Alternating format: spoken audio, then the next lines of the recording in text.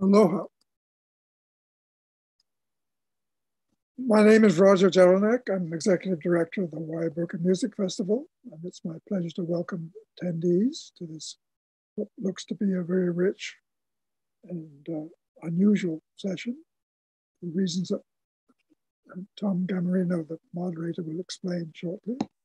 And also to welcome the, welcome this panel, which is um, uh, a large one, probably the largest one we've we've run uh, the entire festival.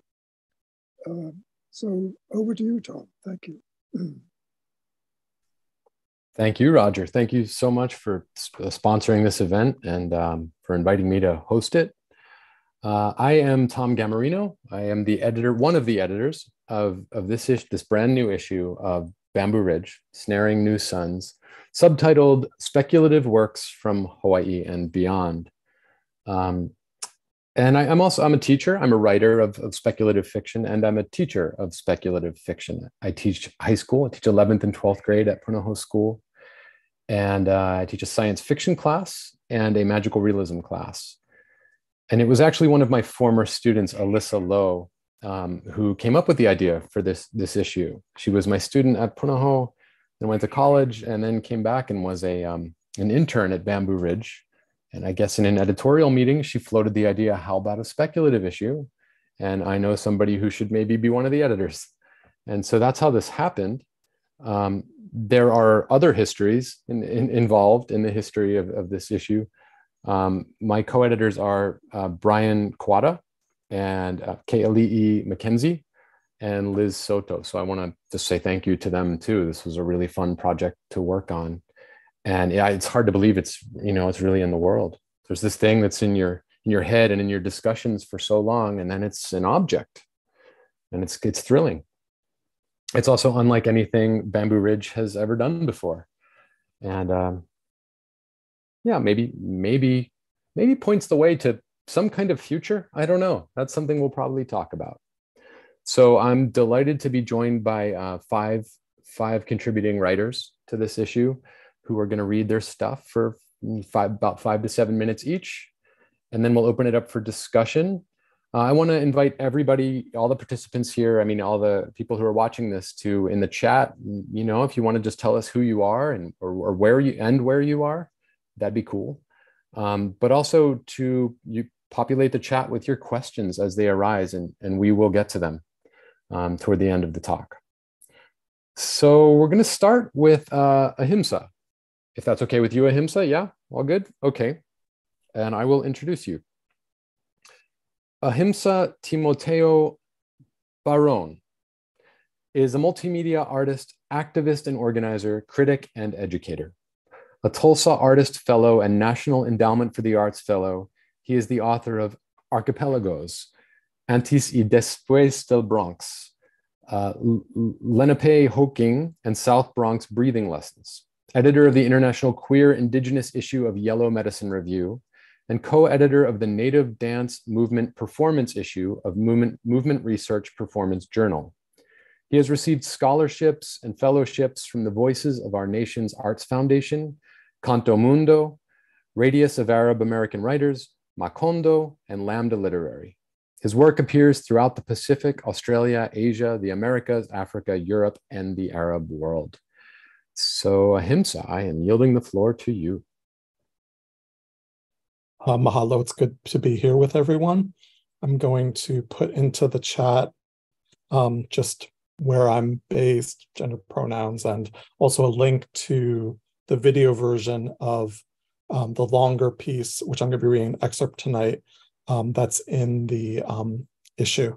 So um, just first want to say it's an honor to be here with everyone and to um, be reading as part of a Bamboo Ridge um, reading. Like Bamboo Ridge has published my work in the past, and I have a lot of love for um, the people who envision and keep running this very powerful multicultural journal out of Hawaii.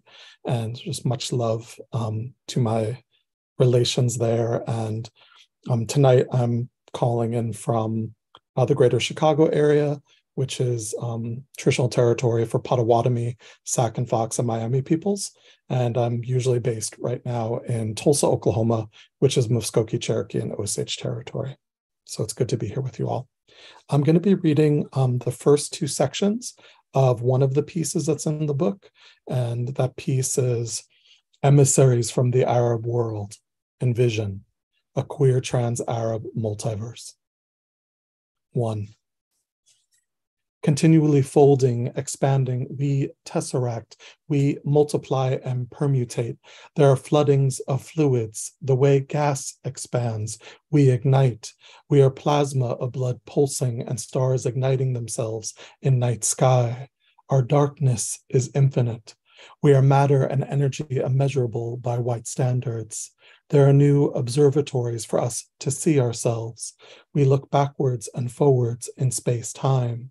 We are new astronomers reshaping astrolabes to chart ancient seas, how deep our water is salty, brackish, fresh, chlorine. We are all the elements on the chart tessellating, periods pulsing, becoming semicolons, slipping into commas, convulsing into ellipses. So many ovular orbits we synchronize, our syntax shakes systems. Supernovae, there are nuclear reactions, fission and fusion, stray electrons, neutrinos shooting through planets across galaxies, gravitons. I am seeking you, soulmate, across echoes, black holes, ejecta. Perhaps in this galaxy or universe you are not, but you are traversing planes to reach me. I wait for you in the future and in the past. There is such a presence here. I feel you across nebulae, arteries redshifting the blueprints of our alveoli, re-oxygenated galactic filaments, plural walls, souls supercluster around each other beyond binary. We circle each other's paths. So many comets entering and leaving our systems, burning and icing cycles, venting and sealing intrastellar seed faults, some trace memory of what we were that we might become again, such cosmic dust and ash, vestigial, swirling. Two. All these stars are ours, so named, as if we belong to them, familial, as if our destinies are already consecrated, constellated in the systems we visited before we came here, before we, many vesseled, birthed from waters, primordial, pre and post human, these humidities, these wetnesses within and between our flesh our desires ever darkening, illuminating infinite, our skins radiantly reflective of rainbows our irises can't register yet. So ultraviolet, infrared, heat and hearing, scored and searing, micro and radio waved, X and gamma rayed, our genders galloping unbound, recombinant, glistening in our resurgent tetrachromacies. I want to feel you fully unbridled in all my matrimonial senses. The scent of your lightning lingering after storm, taste and touch thunderclap, my body recovering. Hold me holding you upright, rebalance my proprioception, echolocate these emissions. Nocturnal, the electricity between us lights up the dark, static, somatic, we see each other in glimpses, know each other through brief embraces, trace back in blood all that we were before. So, those are the first two sections of this longer piece. Um, it's a video um, that I was commissioned to create for So the Darkness May Glitter Queer and Trans Arab Futures, which was a screening curated by Ginny Moganam for the Queer Cultural Center's 2021 National Queer Arts Festival. And I just want to say, both in terms of that um, commission as well as the loving labor of these editors, like the work that's done to gather together and bring our voices into the world, and so that we can imagine new relationships to our pasts, our presents, our futures is such a gift. So it's lovely to be here with you. Thank you.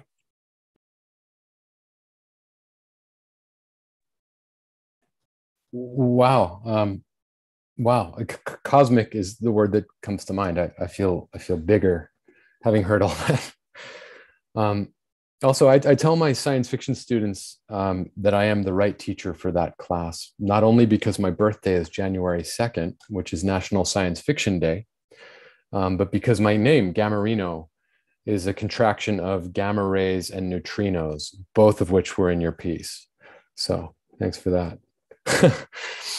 um, all right, our next our next reader is Sloane Leong.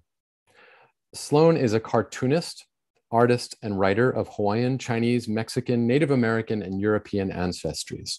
She's written and drawn two acclaimed graphic novels, Prism Stalker and A Map to the Sun, and has short fiction credits with Fireside Magazine, Dark Matter Magazine, and Entropy Magazine.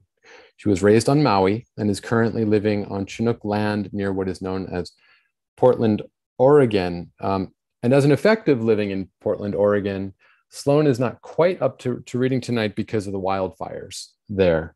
Um, so I'm going to pinch read for Sloane, but I want to give her a chance um, before I do to um, to set us up if she wants. Is there anything you want to say, Sloane? Yeah, totally. And thank you again for reading for me. So I'm not uh hacking up along on on, on the Zoom. um yeah, the story uh it's called Stars May Hunger, Suns May Still. Um it's kind of just an exercise in world building um and exploring kind of like uh, uh kind of like a legacy within this tribe of women um that are exiled uh, to this cold, isolated planet out in the middle of some nowhere star system. Um, and in this excerpt that Tom's going to read for us, uh, it follows our protagonist. Her name is Sangi. Um, as she watches another girl, um, a younger girl, go through an adulthood ritual um, with an indigenous alien creature, um, one she hasn't been able to experience herself. That's so exciting. I get to read that. Yes. Wow. Thank you. so, and Sloane has assured me that um, some of the words in this story have never actually been pronounced before. So I'm, I'm not at risk of getting them wrong. I was happy to hear that. Cool. Okay, here we go. You know what? The third word is one. You want to just give me a start, Sloane? Kalipuck? Kalipuck? Kalipuck works. Okay. Yeah. To the Kalipuck belonged the ocean its churning blackness, its endless ravines, and the unknown life that it continued birthing forth from its depths like a vast abyssal womb. To the Wahinak belonged the ice fields and the rivers, its swiftness and freshwater meadows, the streams like unwavering blue veins traversing the white body of the land. Through that blueness, the women, the women's paddles cut, Three narrow canoes slice through the crisp waters in silent procession.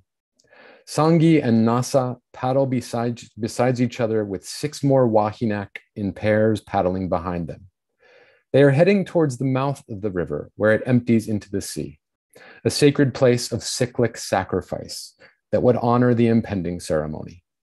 They steer the boat to a makeshift dock to the south side of the river and tie off the canoes. Iame disembarks first. She is small for her 13 seasons, black braids wrapped around her head and woven with yellow reeds, green shells. A wrap of tanned delver hide fits around her hips, and a wash of red clay from top lip to clavicle, from fingertip to elbow. Her belly is carefully etched with a blade, three stippled arcs curving neatly around her belly button, matching the contours of her stomach muscles. She walks out onto a jetty of black and red stone, the brackish sea slapping at her legs. Her gait is unbalanced, a side effect from her unbroken fast and the smoke of a particularly potent reed pipe meant to cloud the mind as well as the body's sense of pain. At the end of the jetty, she stands and waits. Sang had been invited to two ceremonial pilgrimages before. This was Nasa's first, and she feared her reaction, worried her scorn for the creatures would only grow at the sight of them. Sangi whispers, Okay, Kaiku? Fine. Nasa sits stiffly, hands gripping her paddle tight as if anticipating an attack. I'm not scared. I didn't say you were. You might have. Beyond Iame and the jetty, a single tentacle rises up. Nasa inhales sharply. The first Wahinak had said the Kalipuck resembled Terran creatures like the salamander, the whale, the octopus, and the anemone, yet none fully encompassed the fearsome air the Kalipuck had. Slow as drifting ice, it ascends out of the sea. Dark waters cascade from its black spine, and a musk fills the air, heavy with brine and an unfamiliar floral sweetness. It pulls itself into the shallows by the jetty, a myriad of thin tentacles rippling down along the length of its body like a bird forever ruffling its feathers. Its six wide fins, tipped in stubby claws, clutch the rocks to maneuver itself. The care it takes settling its massive head down on the jetty is more frightening to Sangi than its rows of crushing teeth.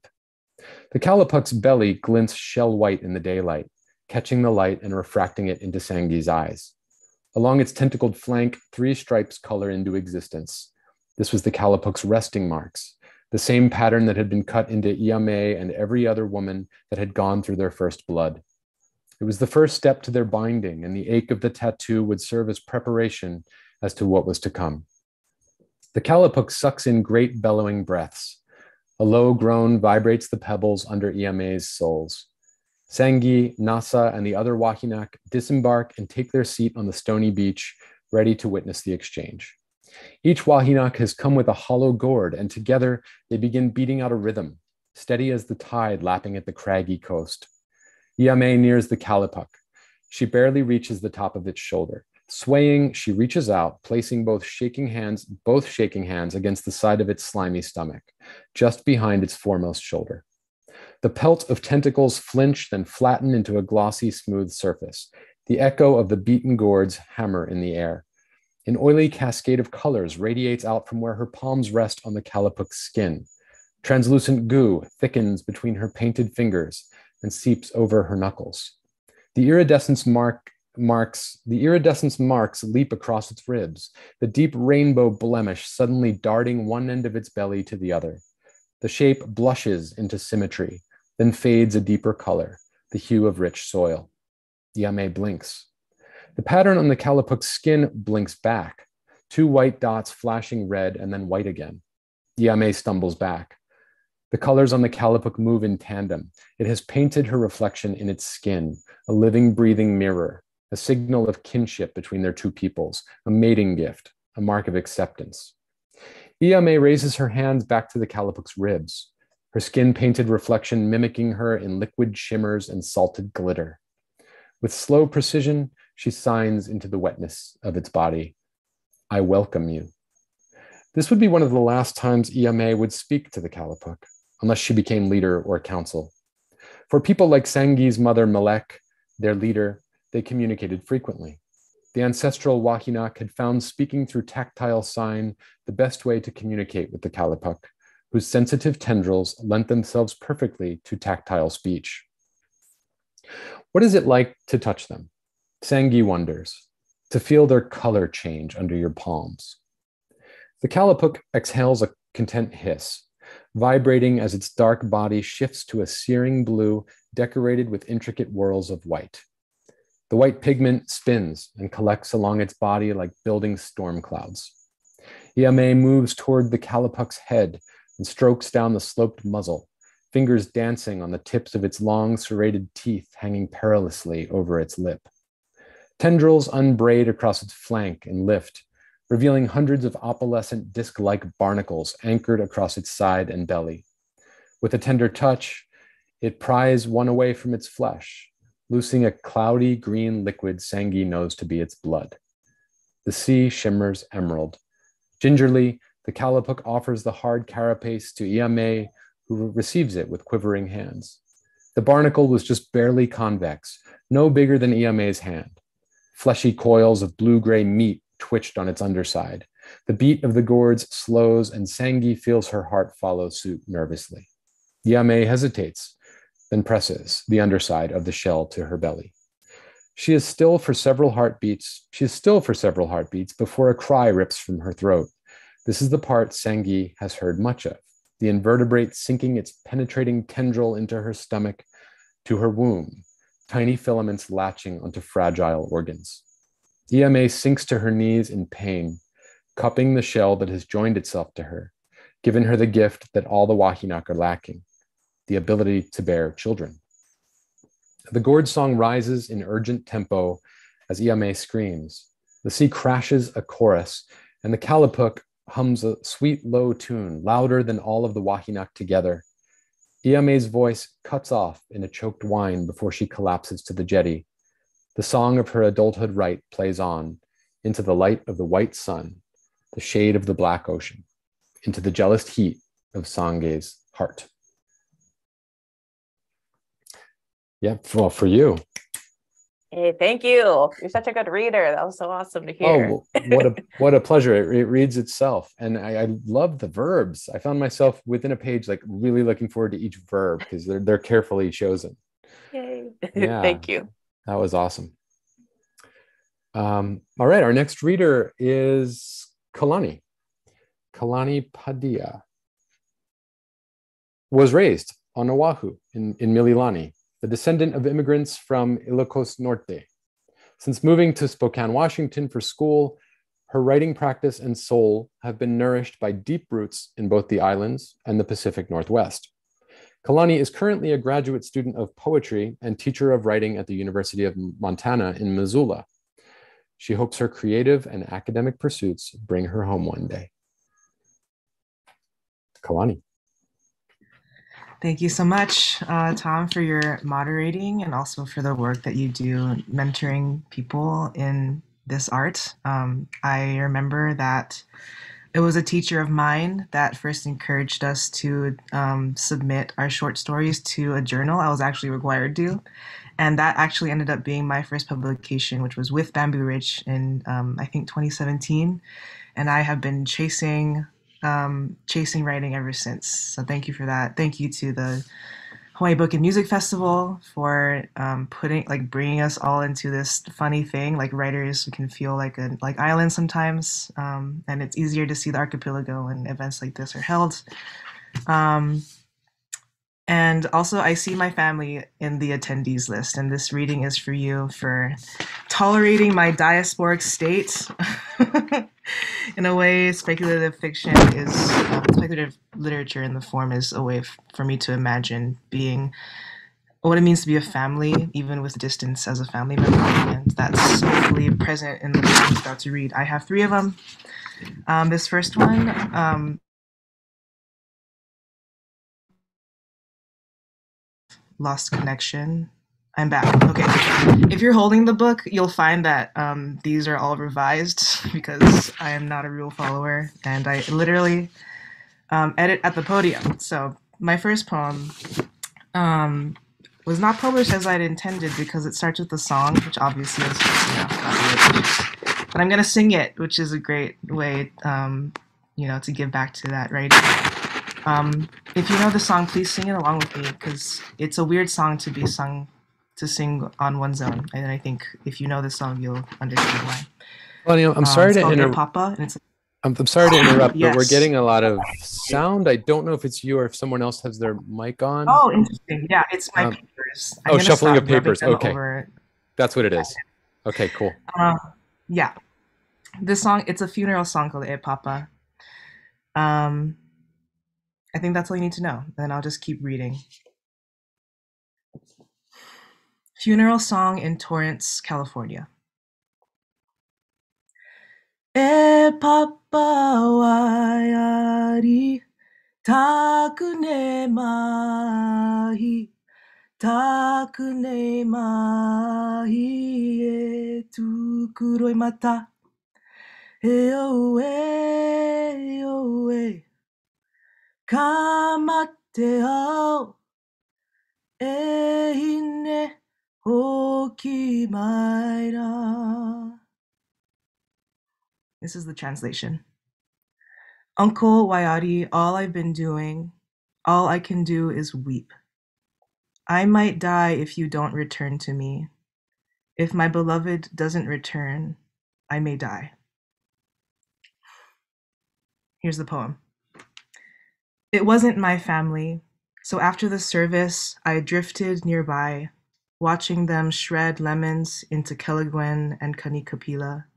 I watched them pour their together years out and into plastic cups and playing cards, all red and blooming beer. It's vulgar, this wanting in me to love their loved one, and only after the ellipses of surfers and tea leaves and orchids, only after his spirit had risen from the waters of Redondo. But soon and one by one, auntie, nephew, cousin came over to touch the gate between my life and theirs, to open it and somehow welcome me more into me. They roped me into their front yard songs and then their backyard songs, grief restrung to tie themselves to me, grief spelled in slack key and flung toward me. Cousin, sing us something. Sing us a song from Hawaii. Mine and cousin's names both mean that we are of heaven. Mine and uncle's names are both words for child. Mine and uncle's names both mean ways for water to fall.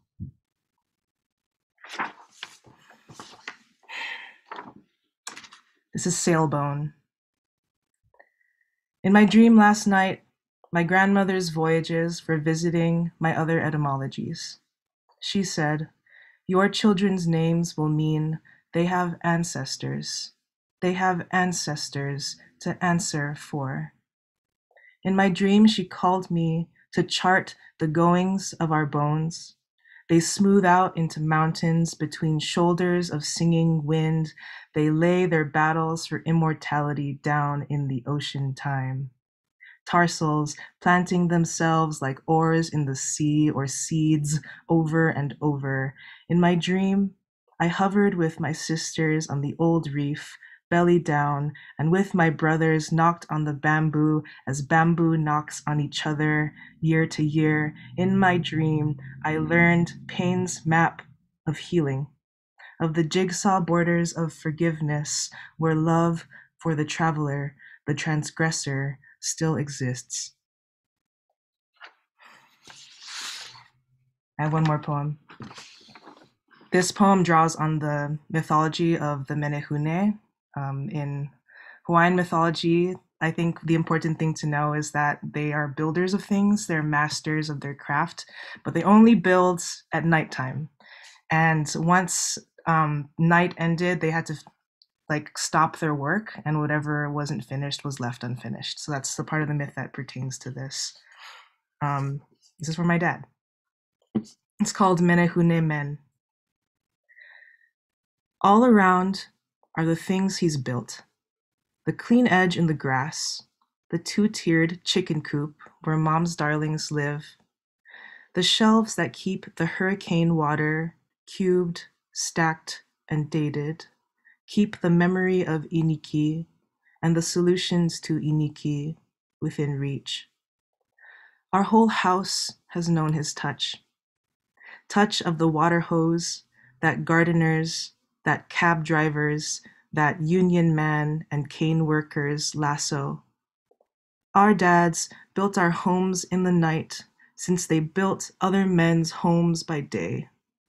As it is told, whatever stones did not make it to the fish pond wall by moonset, the Menehune men mourned and left there in an unstacked cairn.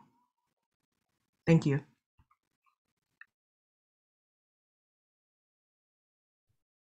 Thank you so much, Kalani. That was uh, exquisite. And man, it's you know you read these things on the page and they're beautiful, but they're, it is really nice to to hear these things embodied.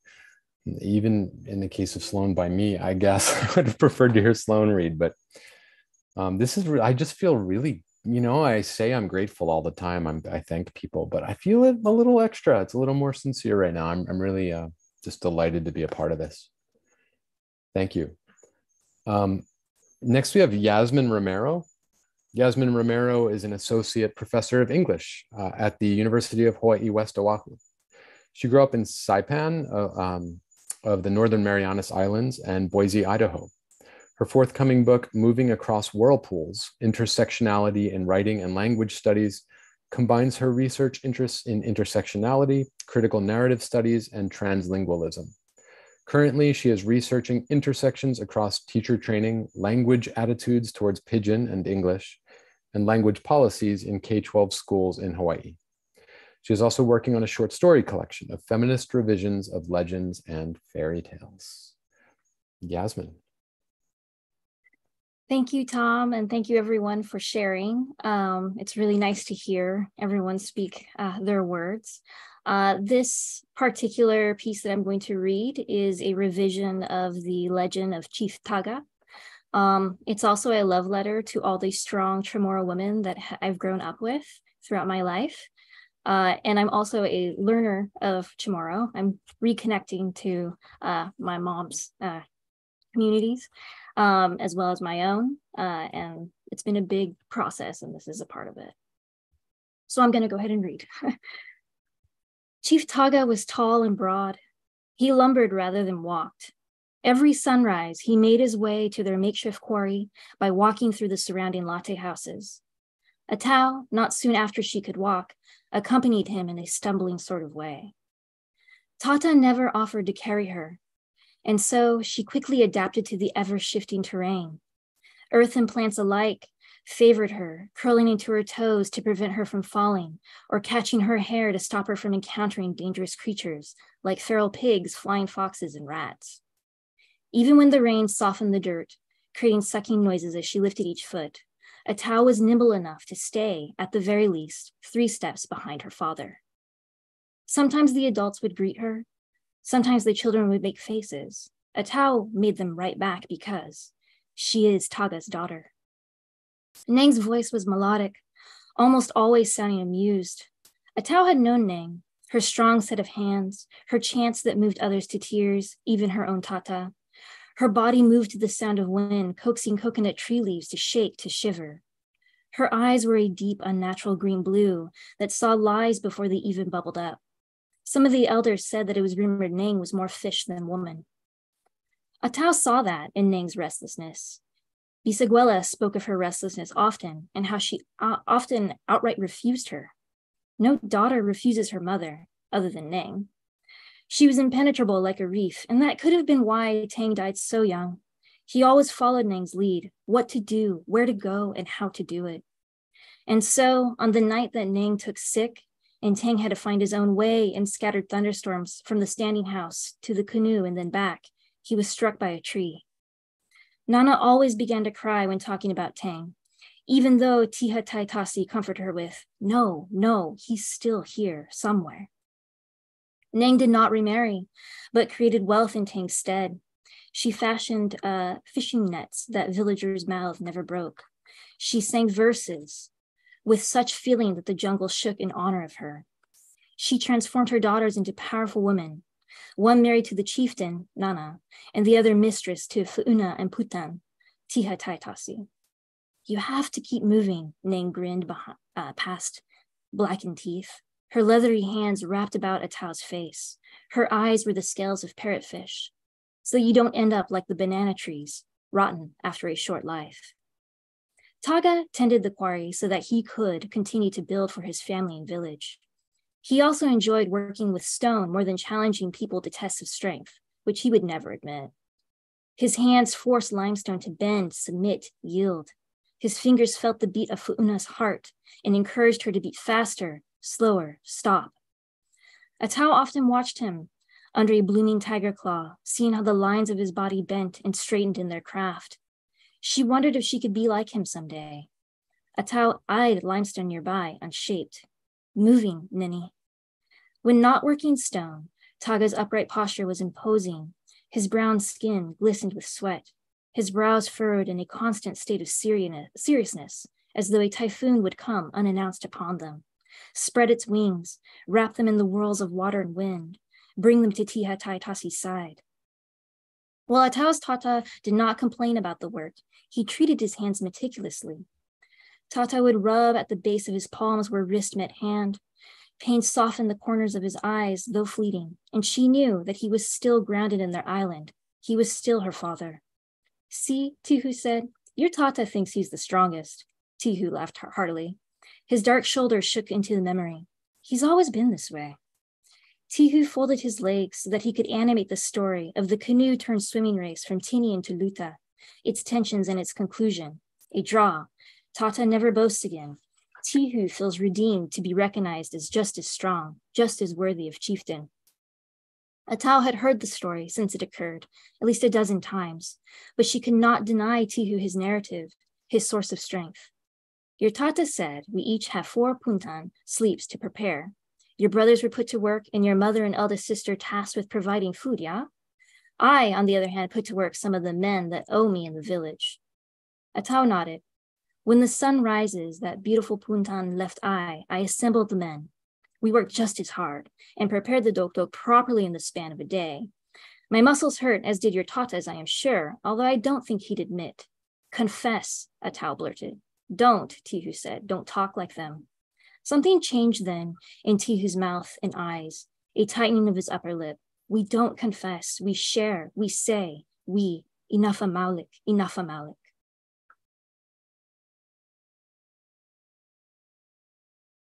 Thank you. Awesome. Th- thank you, Yasmine. That's that's awesome, and it, it makes me think about how much I love the range in this thing about what in this in this issue that is about um you know what we're counting as speculative, and so we I think we'll talk about that in in a little bit.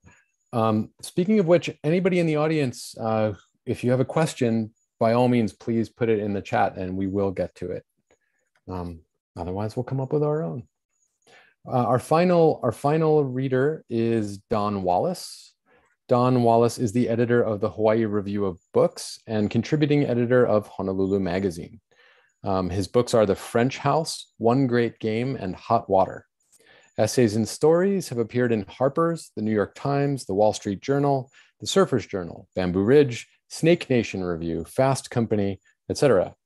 Uh, and as a documentary writer, um, those who came before, the musical journey of Eddie Kamae. Uh, his awards include the Loretta D. Petrie Award, Pluma de Plata, body of work, Society of Professional Journalists, more at donwallacewriter.com. He lives on Oahu with his wife, writer, and surfer, Mindy. Um, Don, I'll let you tell us how to say um, her middle name. Unso? Unsu. Unsu. Unsu. Unsu. Yeah. Don Wallace. Well, most people have problems with their last name. Um, oh, did I get it right? Yeah, of course. Okay, cool. Um, so thank you all. And of course, um, this is really an amazing evening. And as I was saying before, it's an amazing collection that we should really compliment these editors who put this together. You know, Tom and Bryan and Kelly and Lynn. Um, and, you know, I I remember interviewing Bryan for a story like in 2018, and he said the most important or most interesting work coming out of Hawaii was in speculative sci-fi genre. Um, the LBGTQ stuff was coming out of there because it was finding new ways to talk and speak and new audiences. And um, and then the other thing is, I think we see from everyone here is, is writing about islands, the islands you come from, or the you know uh, the different cultures that we all kind of bring here, um, is an encounter of its own. And speculative fiction is always seems to be about encountering something. Um, I grew up in Long Beach, California, and I'm so old that it was actually Ray Bradbury was a new thing, um, and he was sort of like uh, he was our New Yorker. We didn't, you know, when he wrote about the, Martian Chronicles, we knew he was writing about us and our swimming pools um, you know, we were a sci-fi generation, and uh, I didn't care much for what was called literature. Sci-fi was, to me, what I wanted to read. Um, so it's kind of funny. I end up on the other end, you know, like with the Hawaii Review of Books. And I want to encourage everyone here, all our readers tonight, and everyone who want to apply or submit, please take a look. Uh, HawaiiReviewOfBooks.com. And um, with that, I'll say the encounter in um, the bluest angel, the story I have, is a bug. And um, it is also set in Hawaii. And I noticed both Yasmine's and uh, Sloane's piece, um, instead of reading the opening, they kind of jumped to the next section. And I think that's a really cool thing to do. And maybe we should all dispense with openings from now on. I know I'm going to dispense with mine and take my glasses off. Um, so, The Bluest Angel, and it's about a guy named Bob. He stumbled out into the sunlight, day hot, light redoubled from the magnification of white cement sidewalk and mirrored plate glass. He took it full in the face, swayed, stunned. It was as if the tables were turned and he was a specimen slide under a microscope. The truck interior was roasting, the vinyl seat burning through his khakis like a hot iron. But what a relief to be outside. It always felt like flight. Out of the office, Bob is a Ranger Rick, in full possession of his Swiss Army knife of faculties. Bachelor of Science, Masters of this and that, 12 years, flat footing it as a lab assistant and teaching assistant. One giant step, a breakout move, going to the Big Island, to Indo, Sada Wall, going buggy, they joked, going for a doctorate, insects, insects on the brain. Still, it was worth it. Dr. Bob, if you please. And then no jobs, a recession, a freeze on hires, no promotion, a change of priorities, 15 stutter step years. And now he's too old, they hint, to climb the upward track. So could you please get out of the way and turn the page? Get out of the way, pipe down, step aside, give a chance to someone else more qualified. Read, younger, less opinionated, who brings malasadas, doesn't scarf them. He shifts the state truck into drive and heads off to make the rounds. Plant and livestock disease control, pest control, invasives control. That's his kuleana, his responsibility. Just like they justify destroying the reef with a dredged artificial beach and call it for the keiki, the children, the tourist children, of course. It's all a matter of perspective. His route takes him south and toward the water's edge. He has a line of traps, just like Jeremiah Johnson, one of his heroes, the best of the old Rocky Mountain trappers. Only instead of beaver, he traps bugs. His job is secure. There's always another infestation the coffee borer, the ohia rust, the other plagues visited on Hawaii. He's had a report of a coconut palm at a dangerous tilt at Leahi Park at the foot of Diamond Head. Hollowed out into a gray husk over the course of a week, it's a goner. The crew is scheduled to cut it down, and Bob is hanging up glue traps to capture the culprit. They know who it is, of course. The coconut rhinoceros borer beetle showed up from the Southeast Asia a couple of years ago. Look, the coqui frog from Puerto Rico, it's cute, kind of. If you like shiny beetles with interesting serrated legs and scary mandibles, he's got one in each trap. The traps are big black boxes that hang like lanterns from tree limbs. Not from coconut trees, of course. They don't have limbs, only fronds, but the surrounding trees. In the third trap in Leahi Park, there's a third victim, same size, different color. He stops to check it out. This one is not just different, it's totally different, as in species. And if a coconut rhinoceros borer beetle is kind of cool from an evolutionary standpoint, if ruthless and relentless, like all the invasives. This one is flat out gorgeous in a weird sci fi way. It's, it's a one and a half inch Christmas ornament of shimmer, glitter, coruscating mirrored facets with a drop dead beautiful coloration scheme. Nature has done herself proud here. Metallic blue green orange, just outstanding. Good work, insect god. It looks dead. He touches it. It wiggles, moving its thick midsection on the glue trap as he pulls his fingertip back. It convulses, and you can see the chain of exoskeletal effort pulsing down to the stinger or arm, only one of its type. It's a stinger, all right. The fucker was going for him. Well, he's got the jump, the upper hand. Evolution is on Bob's side today because Bob has a four inch pin and with one deft move, he impales the beetle under the glue trap. Sorry, buddy. Ow, Jesus! The thing just gave him an electric shock.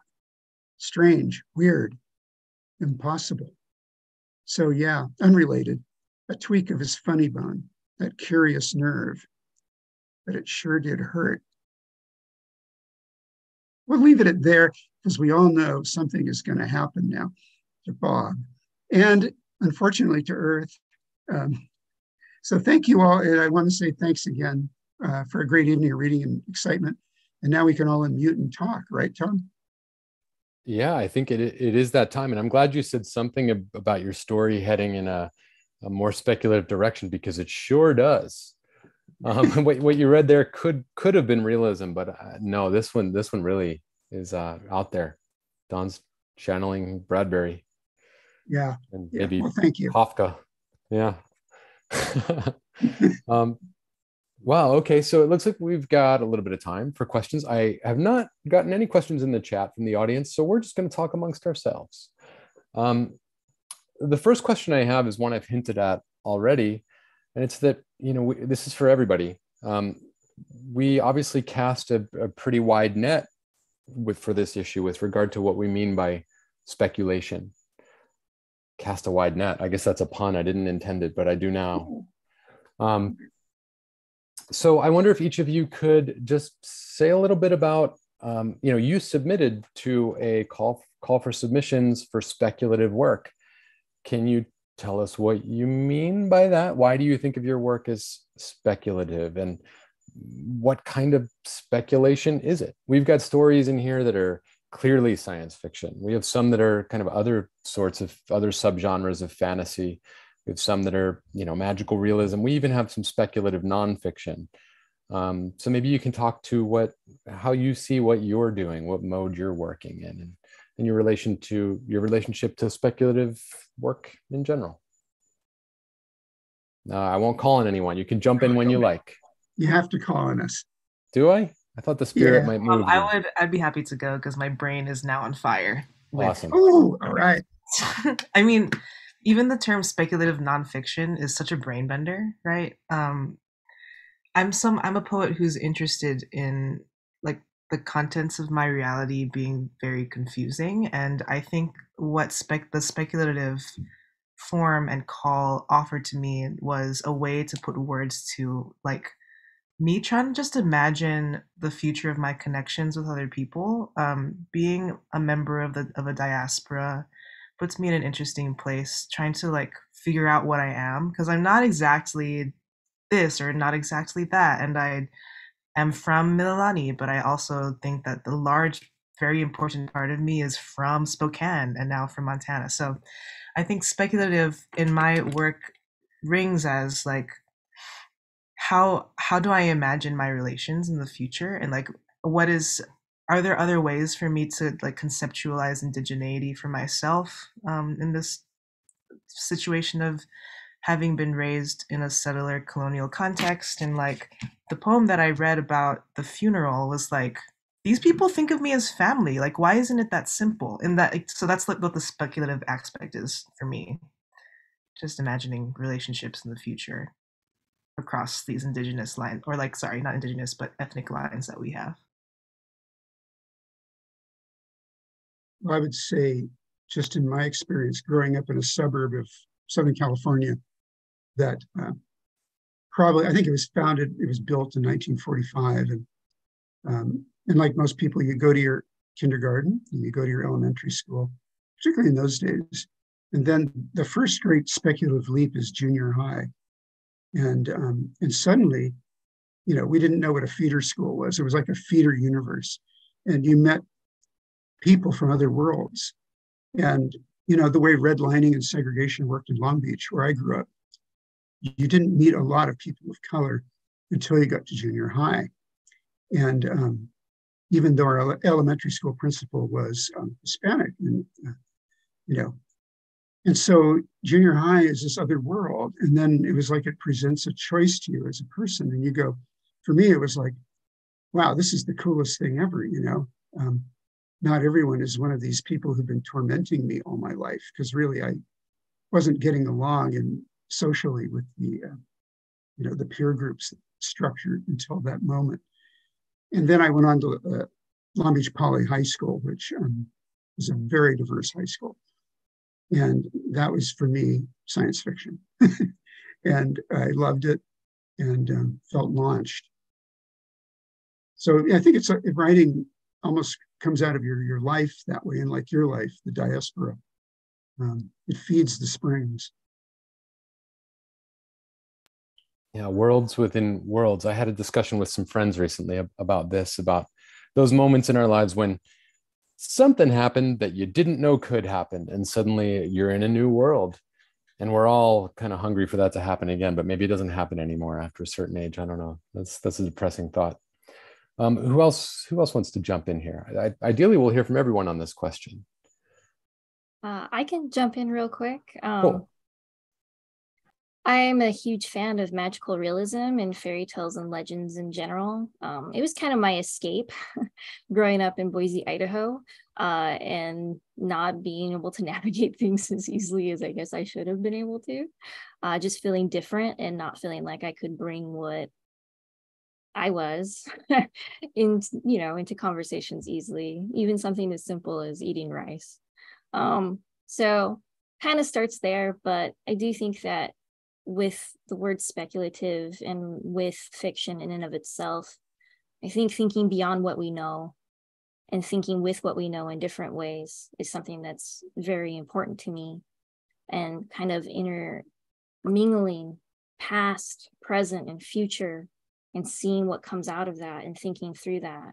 Um, and I think that I mean, I think we speculate all the time. I don't think it's just um, so that I really appreciate how broad of a definition that the issue is taking because I think that allows for us to think differently and think with others in ways that are new. Did it feel like an escape hatch to anyone here? Speculative fiction and sci-fi when you were growing up? Yeah. If you can escape deeper into a thing, maybe. You yeah. know, I'm gonna I'm actually gonna come back to that topic of escapism in in a second. Um, but maybe before that, Sloane and Ahimsa, do you want to say anything about your relationship to speculation? Sure. Um, I feel like uh, I've always been into speculative fiction, particularly because, well, I, I think I I have always been dreaming of a kind of like science fiction that is more about embodying the self in the world. I feel like a lot of science fiction is about like transcending the body, um, whether that's through like cyberpunk and digitizing the mind, or in a more like Lovecraftian sense where you can transcend it in like a more horrific, um, kind of like cosmic way. Um, but to me, I find the body really fascinating and kind of has like really endless potential. Um, like this story in particular that you read from um, was inspired by uh, this uh, mole salamander, um, which is like a, a unisexual creature, um, and it it asexually reproduces clones of itself. But to kickstart its reproduction, it needs to steal like sperm packets from other species. Um, and then sometimes it'll use some of that DNA and sometimes it won't um so i'm really into the idea of like well in the story of like what what would that look like if that was a kind of like a human condition where you needed to we had that sort of biology about us where we needed to kickstart our own reproduction with another species. Um and just like kind of how terrifying that would be or or like how would you incorporate that that into like a human culture um yeah and i think a lot of my work is basically like speculative anthropology. I just really like exploring human or like human adjacent creatures um how they develop their own perspectives and uh, of like themselves their bodies and the world around them that i end up building. Um but yeah i just find the body uh and its limitations very generative um not just our body but animal bodies plant bodies the planet itself like yeah. Yeah you're, you're making me think of um ursula le guin who's yeah. his dad was a very famous anthropologist right? And and her yes. book the left hand of darkness which i think was inspired by the parrotfish. Yeah the, yeah. It's uhu in hawaii. Yeah. Um but also octavia butler. My favorite story of hers is blood child. Yes. Um, and that one's based on her terror of the botfly, right? Yeah, Which, yeah, yeah, exactly. Those are both some major touchstone creators for me. Yeah. Oh, me too. Cool.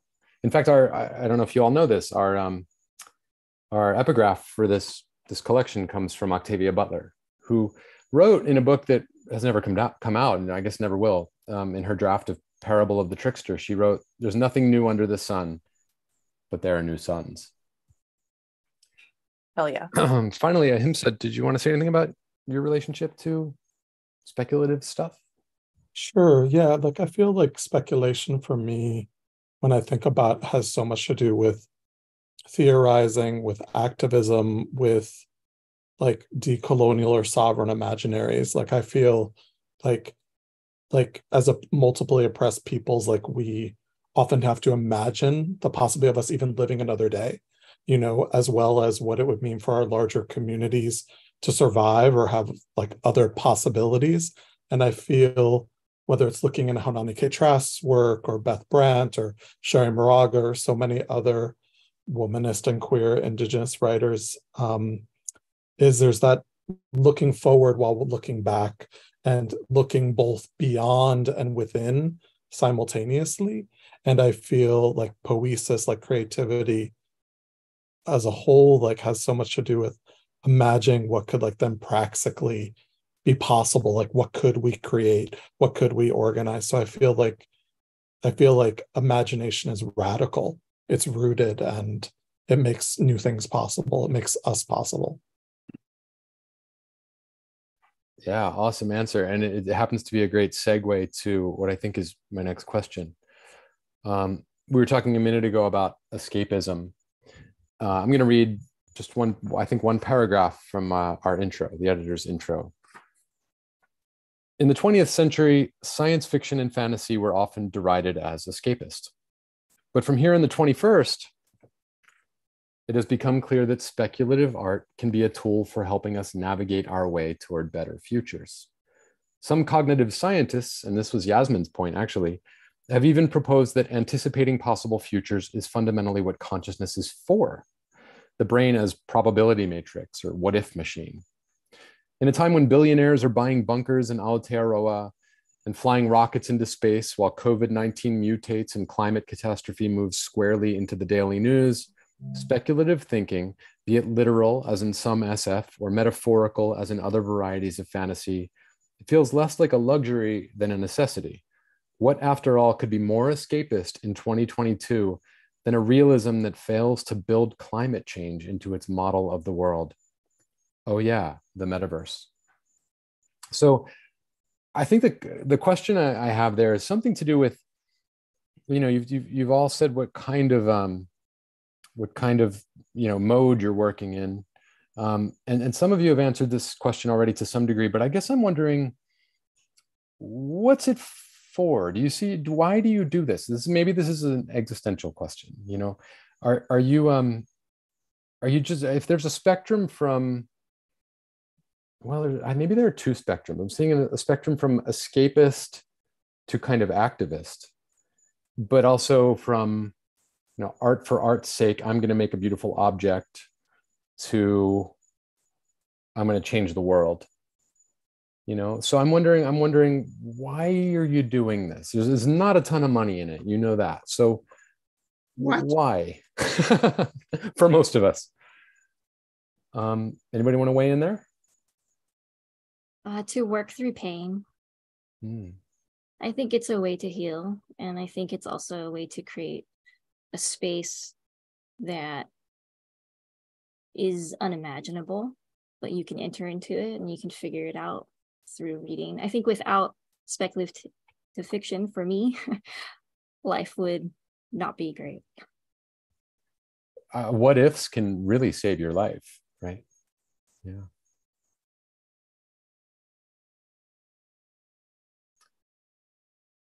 Somebody else want to jump on on that one? I, I hear you, Yasmine, about pain. Um, you know, I think I've been in a few hospitals in my life, and uh, and even as a child, I was in for quite a spell. And there was this wonderful cloud feeling. You're trapped in the bed, and you're you're in pain, but you don't. You're giving you drugs, and you know. So that was one way the mind was free and cut loose, sort of unfettered, and uh, and then there's the psychic pain of getting through life and when I said, I didn't say escapism, I said escape hatch. And for me, it's like, if I couldn't write, man, the pressure cooker would just blow me apart, I think. Um, and it's probably true for a lot of writers.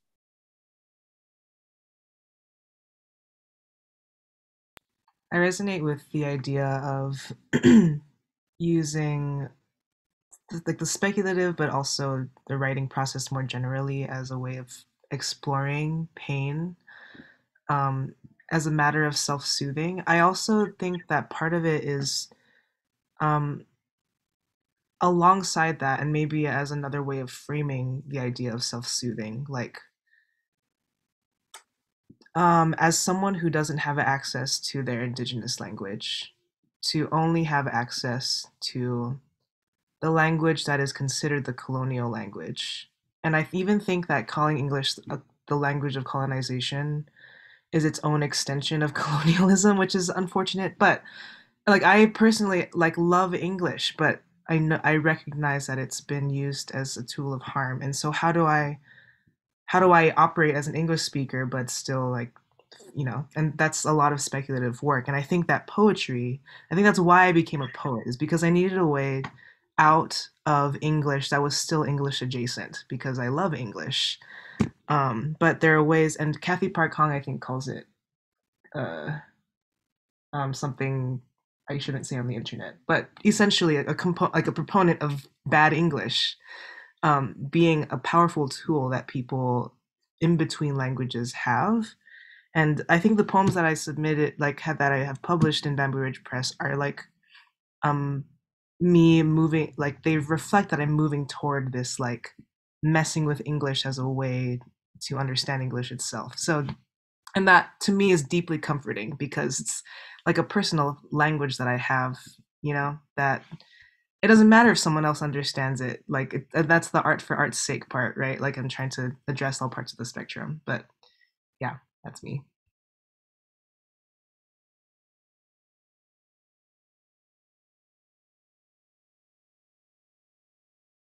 Ahimsa Sloane, you want to say anything about why you do this? I won't make you. sure.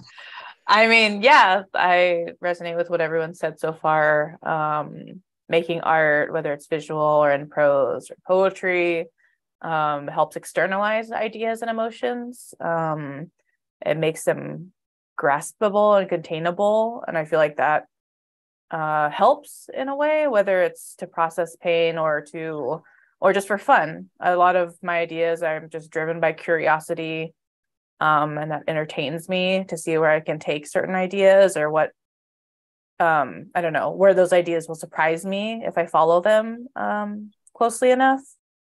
Uh, but yeah, um, I feel like the activist thing is interesting because it's like I I don't know. I mean, my work is very much about like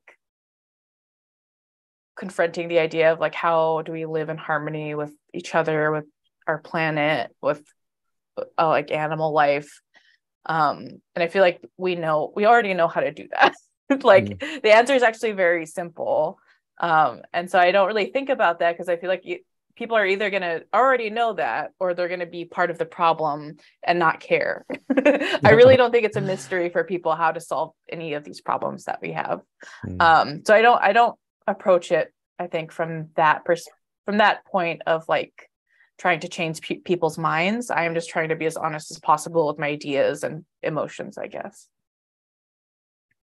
Yeah, you're Sloane is also a visual artist. I don't know if did I mention this already? I don't think so.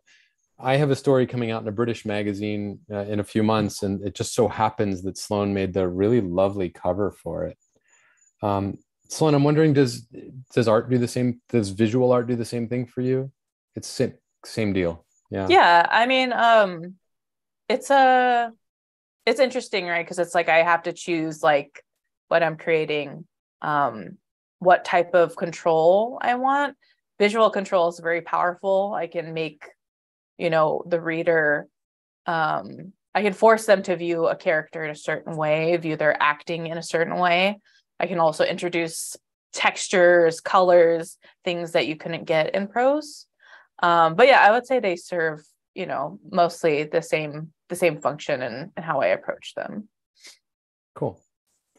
Um, lastly, Ahimsa, if Thank you want. You. Um, yeah, definitely. Um, yeah, writing kept me alive. Reading kept me alive. Um, if it wasn't reading Chrystos's work, if it wasn't reading Barbara Smith or Gonzalo Lorde, when I read Sister Outsider as a teenager and one night, like I woke up in shock the next morning, literally saying for multiple minutes, I just woke up, I just woke up, I just woke up. I, I literally had language to describe my life finally. And I feel I feel like writing and the other art forms make our lives possible. And I feel like for me, Sloane, like hearing you read tonight or hearing your words read at least um, was such a gift, as was it to hear other people's work. And I guess like for me, like I think about how can our words or art make other words or other art possible in different ways? Because I felt like hearing your work was like world making and to like to imagine that we can have this world other worlds that we can share worlds that these worlds could survive. That's such a gift and i feel so many of our peoples are so precariously placed in the world and we don't talk really about how we nearly didn't make it. And so when i read alice walker's work you know she was the first person of color i ever read first indigenous black queer mixed race person that i read and she, by charting her life it made possible for me to chart mine. And i feel that that's what we can do is we can provide new maps in some kind of way so people can you know do their own cartographies of survival. So thank you. Wasn't it um martin amis's dad who wrote an early history of science fiction that was titled i think new maps of hell? But that's not what we're talking about. I think we're talking about uh, hope. I thought your answer was really beautiful here's the last paragraph of our introduction we wrote one phrase the editors tossed around while drafting this issue's call for submissions was imagining otherwise. Rendered that way, speculative thinking reveals itself as a very close cousin to hope. We still have some. Here's hoping you do too. Um, and it sure sounds like uh, you do. I remember being in high school and seeing a bumper sticker on a car. It said "Art saves lives," and um, I liked it. I but I I also thought it was not literal. And but now i'm 44 and uh, i think i i can say the same. It's certainly saved my life. Um we're, we're, we're basically at the end of our we're actually a little past our time but i have one more question just really quickly. Maybe you can name one speculative book or short story or something by someone else that you recommend to all of us. I'll start. Um, I've been reading Stanislaw Lem. He was a really interesting Polish writer who kind of was uh, independently inventing science fiction behind the Iron Curtain. When he finally got access to Anglo American stuff, he thought it was all garbage, except for Philip K. Dick. He kind of liked Philip K. Dick. Uh, he's best known for his, his novel Solaris, so that's probably the place to start.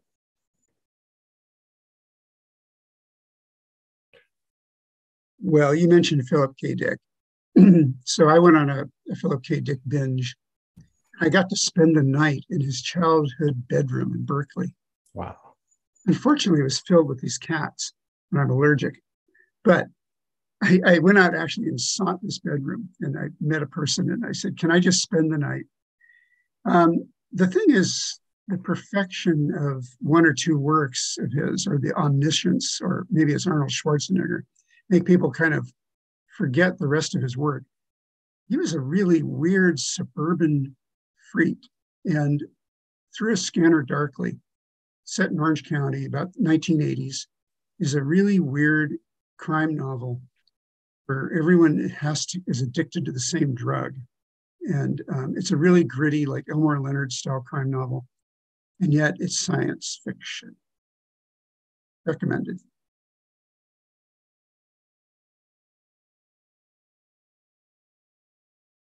I I would say Helen Oyeyemi's uh, "Is Your Blood as Red as This?" I got very addicted to her work. So.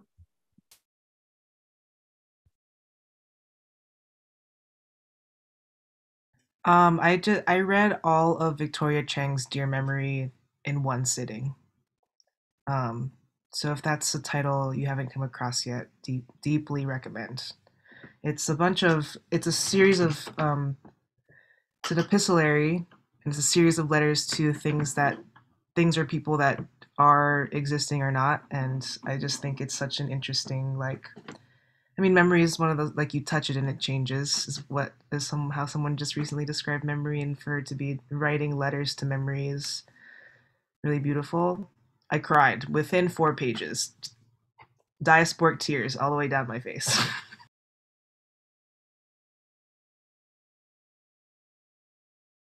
I'll mention a few names real quick. Um, I'm excited about queer Maori writer Tama Wise's work. I'm excited about, I'm going to call them out, like Kai Gaspar, queer Hawaiian writer's work that hopefully we'll be seeing a lot more of in the future. Kaylee McKenzie, who's one of the editors, has a lot of geeky, nerdy, speculative stuff. So I'm looking for multiple full books from them, another queer Hawaiian writer. Um, and then uh, definitely also want to mention uh, trans Haudenosaunee and Anishinaabe playwright um, Ty Defoe, who also is a multi-genre writer. There's so many great people doing work, and and I think in many ways, so much Indigenous lit period is speculative in terms of articulating new survivals. And in that vein, I'll say Deborah Miranda's, who's uh, Esselen and Chumash, like queer writers, done tremendous work, and really looking forward to future work from her. Um, I'll recommend um, the Raw Shark text by uh, Steven Hall. Um, it's a really cool postmodern kind of like sci-fi mystery story. Um, it follows this guy. He wakes up with that almost no memory at all and starts receiving packages from himself from the past.